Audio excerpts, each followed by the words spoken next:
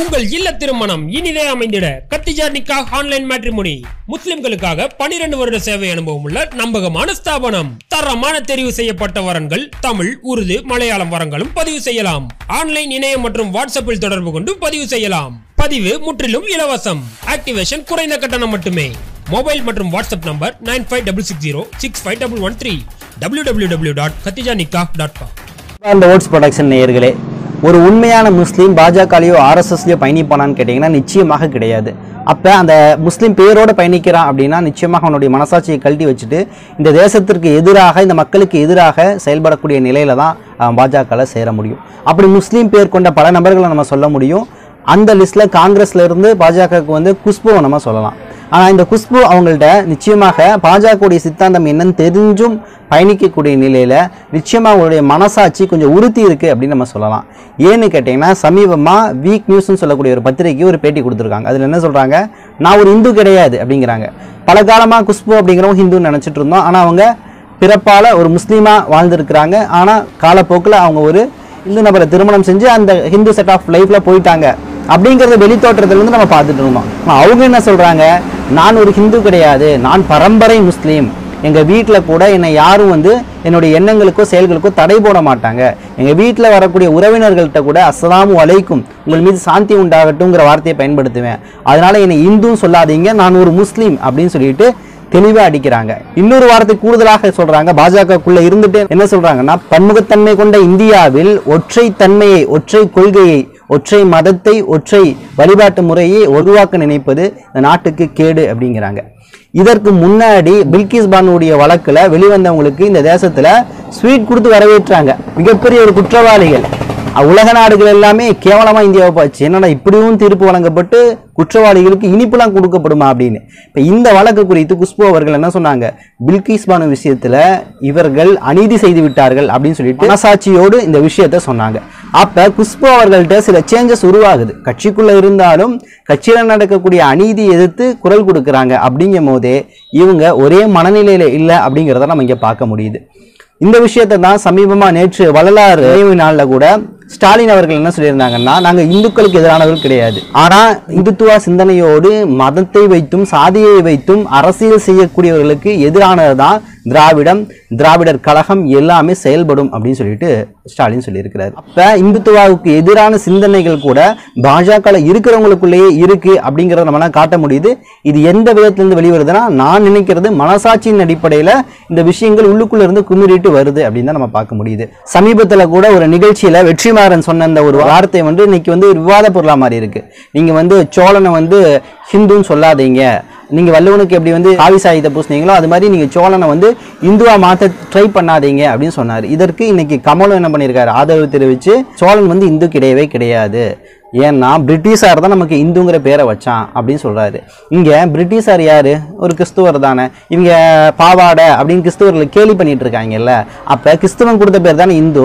டக்குன்னு தூக்கி போட்டால் பிரச்சனை முடிஞ்சில்ல இந்தாப்பா நீ கொடுத்த பேரே எனக்கு வேணாம் அப்படின்னு தூக்கி போட்டால் இங்கே எல்லாமே சரியாயிரும்ல. ஆனால் இவங்க பண்ணவே மாட்டாங்க. ஏன்னா இவங்க வந்து சரியான கோழைகள்.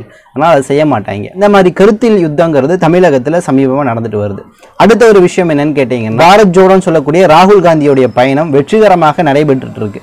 பல நபர்கள் சொன்னாங்க தமிழகம் கர்நாடகா கேரளாவில் கிடைச்ச ஆதரவுங்கிறது போக போக ராகுல் காந்திக்கு கம்மியாயிட்டே போகும் அப்படின்னு சொல்லி சொன்னாங்க. ஆனால் போக போக அவருக்கு ஆதரவு அதிகப்படுத்திட்டு இருக்கு.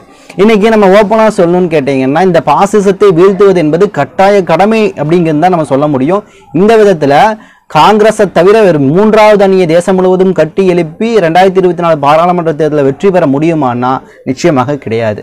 ஆனால் காங்கிரஸை வலுப்படுத்தக்கூடிய கரங்களாக எல்லா கரங்களும் மாறணும். அதற்கு ராகுல் காந்தி என்ன பண்ணணும்?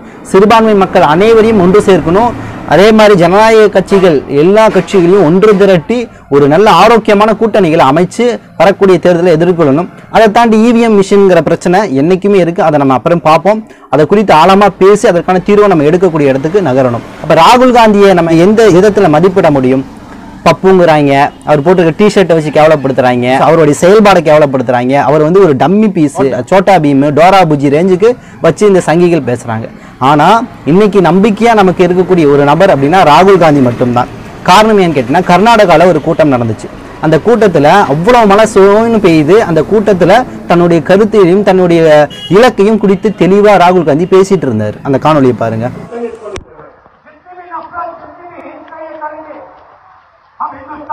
हिंदुस्तान को जोड़ेंगे और ऐसे बोलते आता ನಮಗೆ ಅಕ್ಷರ ನಾವು ನಂಬಿಕೊಂಡು ಜನತೆ ಲೋಕಕ್ಕೆ ಕೆಲಸ ಮಾಡುತ್ತೇವೆ और बेरोजगारी का और महंगाई का मुद्दा कांग्रेस पार्टी उठाने चाहिए ಇದನ್ನು ಸಮಸ್ಯೆ ಮತ್ತು ಜನರ ಸಮಸ್ಯೆಗಳನ್ನು ಕಾಂಗ್ರೆಸ್ ಪಕ್ಷ ತನ್ನ ಎಲ್ಲ ವೇದಿಕೆಗಳಲ್ಲಿ ತೆಗೆದುಕೊಳ್ಳುವುದಿಲ್ಲ ಸಹಾಯಕ್ಕೆ ನಿಲ್ಲುವಂತೆ आप आप कितनी दूर से चले बारिश में आप आज यहाँ खड़े हो आप सबका दिल से बहुत बहुत धन्यवाद ತಾವು ಈ ಮಳೆಯಲ್ಲಿ ಜೊತೆಗೆ ಪಾದಯಾತ್ರೆಯಲ್ಲಿ ಜೊತೆಯಲ್ಲಿ ಬಂದಿರುವುದಕ್ಕಾಗಿ ತಾವೆಲ್ಲರಿಗೂ ಹೃದಯಪೂರ್ವಕದಿಂದ ವಂದನೆ ಅಭಿನಂದನೆಗಳನ್ನು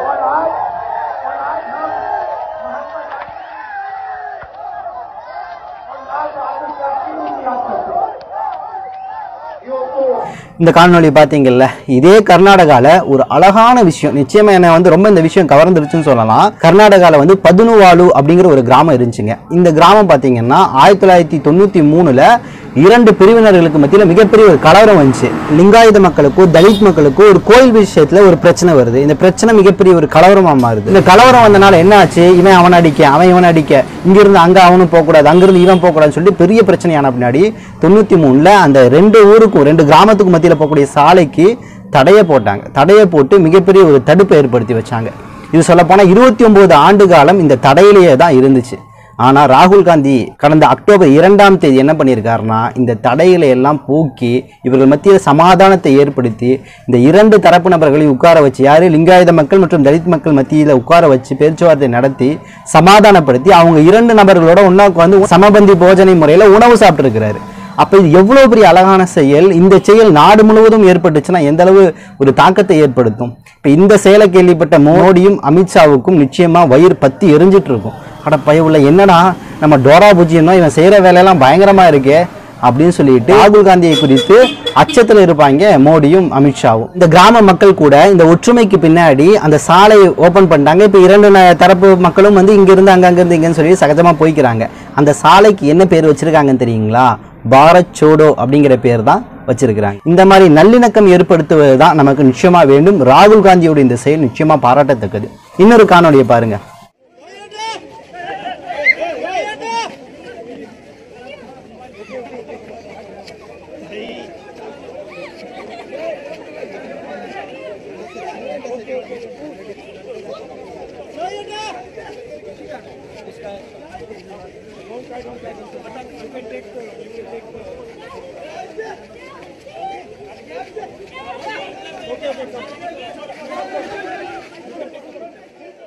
இந்த காணொலியில் பாத்தீங்களா? சாமானிய ஒரு மாணவி.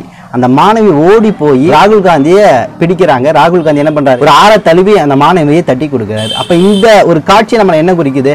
கவலைப்படாதமா நிச்சயமா அந்த ஆட்சி மாறும் அப்படிங்கிற ஒரு காட்சியையும் இந்த பெண் நீங்க தான் எங்களுடைய ஒரு விடிவெளியா காணப்படுறீங்க அப்படிங்கிற ஒரு பார்வையும் கொடுக்குது. நிச்சயமா இந்த காட்சி மனதுக்கு ஒரு தைரியத்தை நமக்கு கொடுக்குது அப்படின்னு சொல்லலாம். ராகுல் காந்தி இந்த தேசத்துல நிச்சயமாக மாற்றத்தை ஏற்படுத்துவார். அதற்கு நாம் உறுதியாக துணையாக இருக்க வேண்டும் என்பது நமது ஆழமான கருத்து.